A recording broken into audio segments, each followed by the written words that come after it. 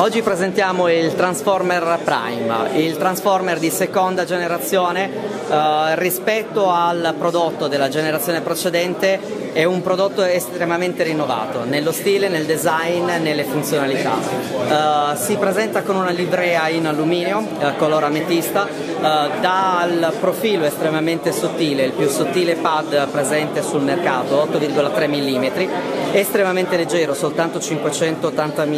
grammi per il pad, estremamente accattivante appunto nell'aspetto. La piattaforma ovviamente su cui si basa non è da meno, è il primo pad al mondo a uh, offrire un processore di tipo quad-core, stiamo parlando del processore di nuova generazione Nvidia Tegra 3, il primo pad al mondo ad offrire um, Android nella versione 4.0 Ice Cream Sandwich. Diciamo al di là di questi primati è un prodotto sorprendente per completezza di dotazione e caratteristiche tecniche. Um, nei vari miglioramenti che ci sono stati rispetto alla versione precedente si è passati ad incrementare il livello dell'autonomia, si arriva a 18 ore in abbinata fra uh, tastiera e pad, 12 ore uh, per l'utilizzo esclusivo del semplice pad. Ovviamente fa pregio diciamo, di quello che era stata la caratteristica principale del suo predecessore, per cui in maniera estremamente semplice. Io trasformo il semplice pad per un utilizzo in, uh, ma, con il massimo comfort in perfetta mobilità, fino appunto a ricomporlo in maniera altrettanto immediata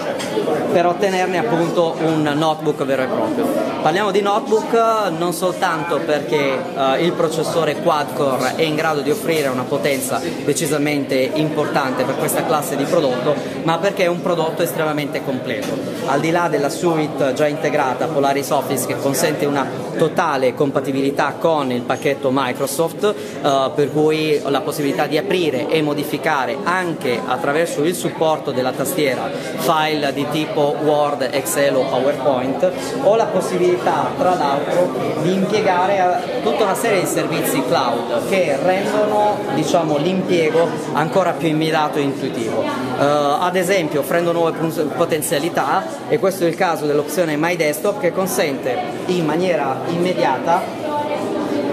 il controllo remoto di un altro PC. Semplicemente con un singolo clic avvio il programma, effettuo una scansione che rileva direttamente il PC collegato alla stessa rete, un altro clic ancora e automaticamente ho la possibilità di controllare un PC attraverso il pad. Controllare il PC significa avere un accesso diretto direttamente alle risorse del PC, cui io non mi limito a visualizzare semplicemente quello che accade normalmente nel PC, ma lo controllo direttamente potendo andare a controllare risorse del sistema, potendo andare a controllare in tempo reale, lanciare direttamente delle applicazioni e poter avere accesso diretto a quelli che sono i contenuti del sistema, andando a superare anche lo, diciamo, l'ostacolo di una visualizzazione diciamo, non particolarmente confortevole su uno spazio più ristretto di 10 pollici, per cui andando anche a poter interagire anche con comandi estremamente più difficili da raggiungere, supponendo appunto che Windows 7 piuttosto che Windows XP non siano nati per essere ottimizzati per il controllo con uh, direttamente una, le dita. In particolare uh, c'è la possibilità di accedere, vi dicevo, ai contenuti, ma non soltanto contenuti, documenti e file di lavoro, addirittura la possibilità di supportare lo streaming diretto di contenuti multimediali, potete vedere come in questo caso un video venga trasmesso praticamente senza ritardo dal PC al pad, considerando che appunto è il pad che continua a controllare la riproduzione del PC. Perché io posso ad esempio bloccare la riproduzione piuttosto che continuare a riprenderla e ovviamente avviare altro tipo di, di contenuti. Questo appunto con l'immediatezza e con la reattività che questa applicazione consente di ottenere anche perché è un'applicazione ottimizzata per sfruttare a pieno il Tegra 3, per cui la potenza diciamo, messa a disposizione del processore quad-core. Ovviamente i servizi di cloud non si limitano soltanto a questa applicazione di controllo remoto con la quale io posso controllare un PC addirittura dall'altro capo del mondo con la stessa reattività e velocità, ma ad esempio l'opzione MyNet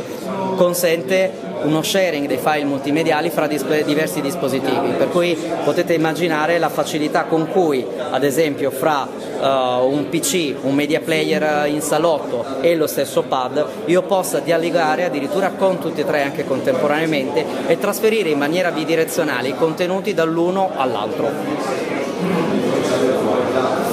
Uh, ovviamente le potenzialità del pad non si esauriscono qui, il processore Tegra 3 consente di poter uh, diciamo, uh, trarre massimo vantaggio soprattutto in ambito gaming, dove appunto le applicazioni sono in grado di dare il meglio, il meglio di sé. Non soltanto le applicazioni più tradizionali eh, ne avvantaggeranno, si avvantaggeranno in termini di velocità e di frame rate, ma addirittura la possibilità di sopportare anche direttamente il 3D, per cui per un'esperienza di gioco che diventa ancora più interessante, ancora più coinvolgente, eh, sostanzialmente identificando in questo dispositivo così leggero, eh, così anche elegante, così sottile, eh, una vera e propria console di gioco estremamente potente.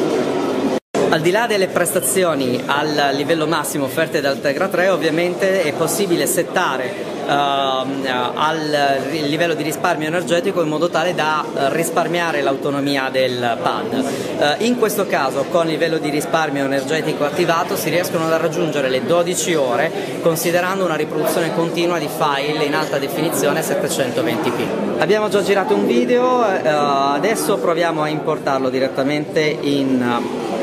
nel programma Cyberlink Power Director per testimoniare le potenzialità del processore quad-core ancora una volta.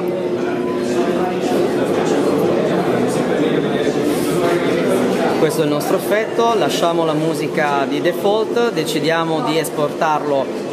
in un formato diciamo, che sia eh, agevole anche direttamente da, da condividere. Vedete il, il tempo che è decisamente basso rispetto a quello che sarebbe ottenibile da un processore di diversa generazione. Nel giro di una trentina di secondi avrò importato del video in risoluzione 1080p all'interno di un set che consentirà di aggiungere effetti e eh, diciamo scenografia decisamente interessante. E questo è il risultato finale.